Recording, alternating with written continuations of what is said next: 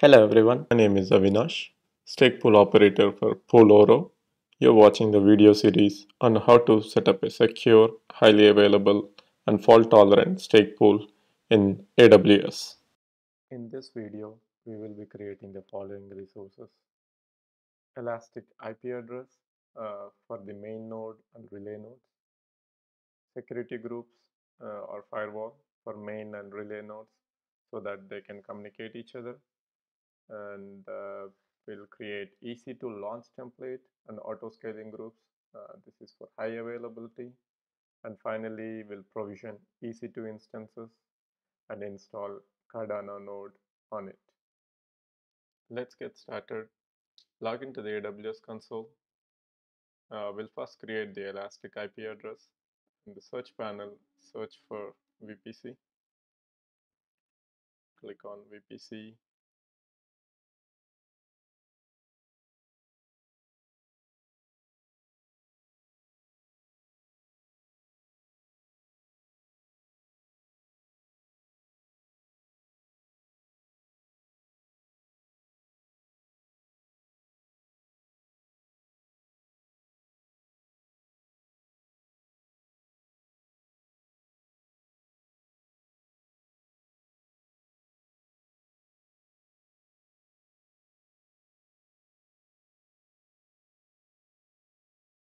click on allocate. And we'll name this as main hyphen main node. So this is the IP address uh, that will be assigned to our EC2 instance for the, the block producing node. And uh, let's create another one. Allocate IP address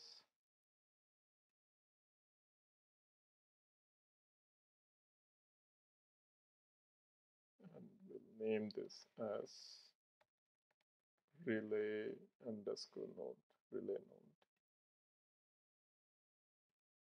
If you remove the filter, we should have two elastic IP address, one for the main node and one for the relay node.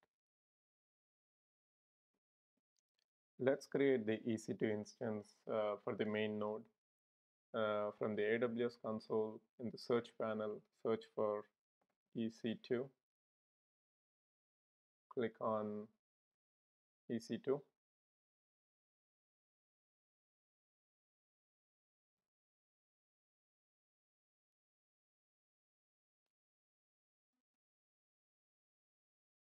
If you scroll down, you should see the option launch instance. Click on launch instance.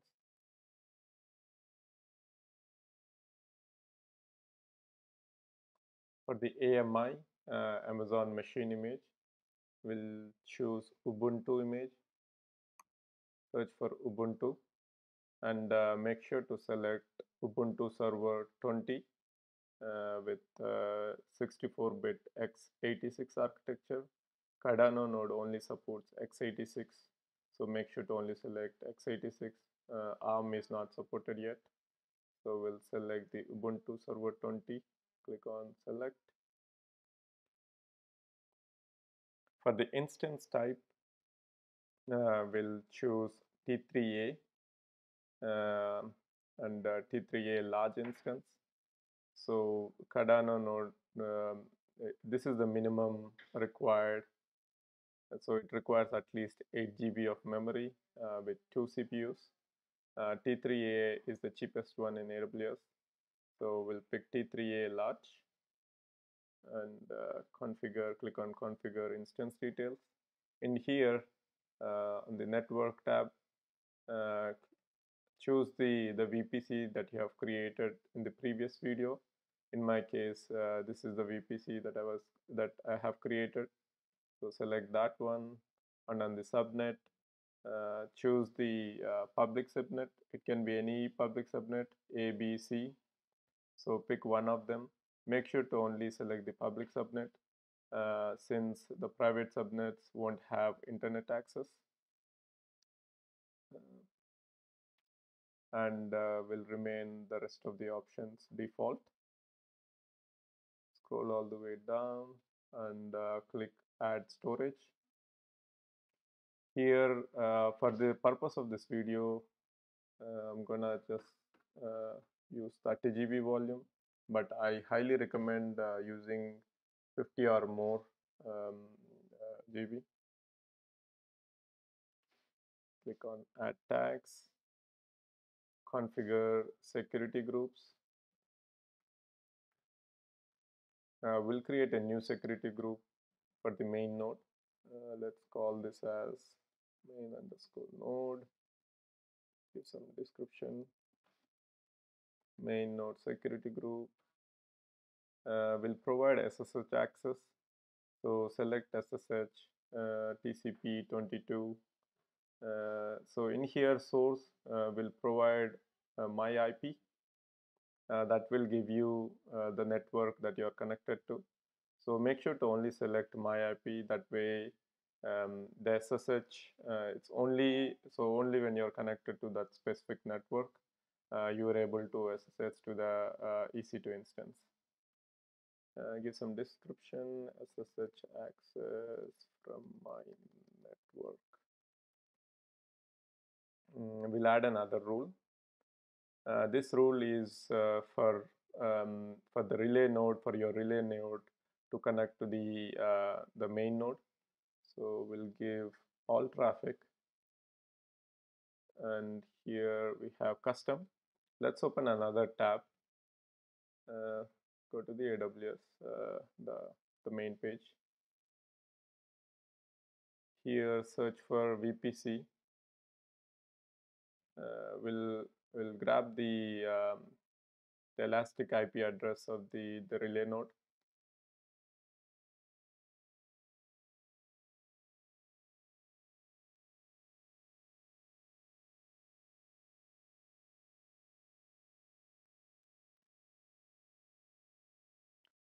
elastic IP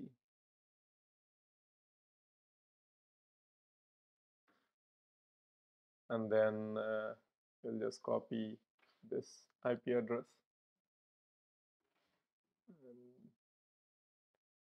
And, and we'll slash 32 uh, relay node uh, review and launch. Click on review and launch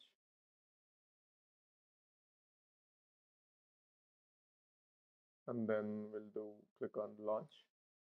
Here it asks for to create if you already have a key pair uh, you could just use that or create a new key pair. Yeah in my case I'll just create a new key pair. Uh, make sure to download the key pair. Uh, once uh, if you if you have not downloaded this option you would not you would not able to download it again. So I'll just provide a name. I'll provide the main node. Download the key pair.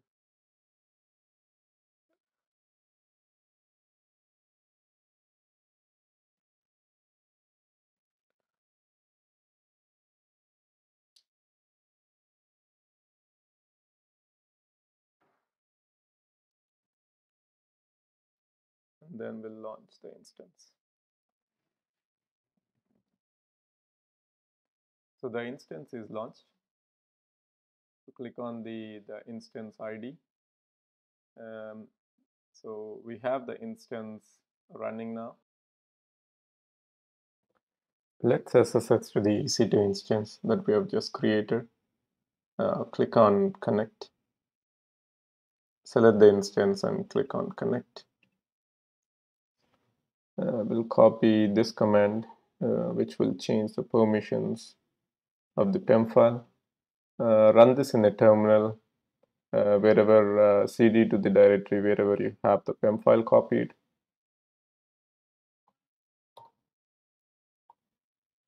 And we'll copy the SSH command.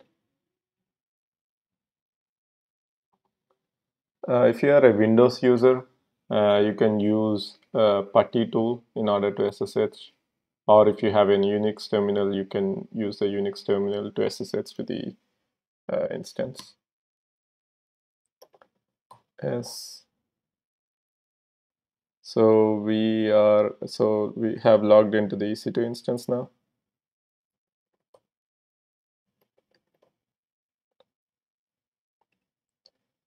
So I'll follow the, uh, the, the, installation of Cardano node. Um, so I have the instructions in my GitHub repository. It's under Oro stake pool and uh, the repository is orostakepool-github.io. So click on stake pool automation scripts. So there is a readme dot uh, uh, file. So we've already done the SSH part. Uh, we're going to clone this repository where we have the automation scripts to install the, the Cardano node dependencies and uh, as well as installing the Cardano node. Do git clone, do ls minus ltr. So you can see uh, the, the repository has been cloned. Uh, let's do ch mod on that. So we are giving execute permissions on these scripts. And then we'll run the first script, install Cardano node dependencies. So copy this.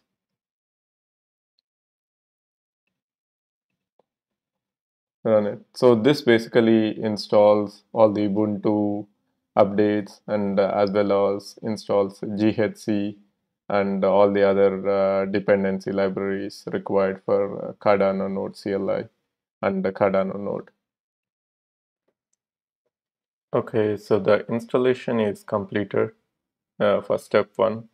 So it took about um, four minutes to complete that script and uh, it has installed the Cabal and it also installed uh, GHC version 8.10.2. So the next step is to install Cardano node and Cardano node CLI. Um, for that, I'm gonna copy the instruction, uh, run the script too. So this script will run in the background since it takes about one to two hours to complete. So uh, we'll just run this in the background. So I've copied the command. I'm gonna run it um, press enter to come out of it. So when you type in jobs you will see the script is running in the background. So if you want to see the output of the script uh, it's uh, written to this file nohup.out so you can do tail hyphen f as you can see it's uh, running the installation step so I'll pause here and come back once the installation is complete. I have the installation completed for step two. So, so I don't have any jobs running in the background now. So if I do tail hyphen f on no hubs, nohup dot out file. So as you can see, it took about 60 minutes uh, to complete the script and uh, it installed the, the latest version of Cardano node. Uh, as of uh, recording this video, 1261 is the latest version and uh, it installed the Cardano CLI version, uh, the latest one. So if I run the command Cardano node version, uh, we have the, the latest version here.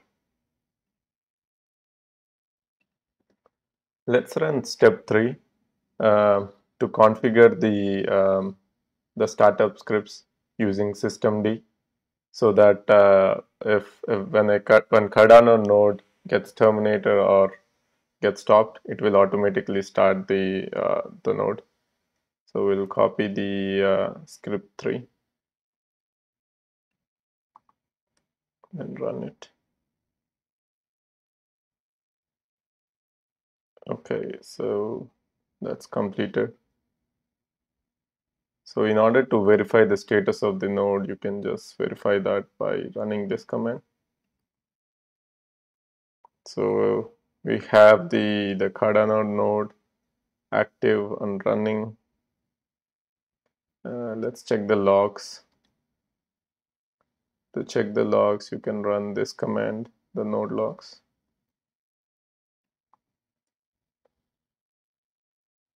Okay as you can see uh, it's syncing up the database. So this process might take uh, about 8 to 10 hours in order for the entire data database to get synced. While the database is syncing let's install uh, the GLive uh, monitoring tool. Uh, so this will be handy to monitor the Cardano node status. So let's copy script 4.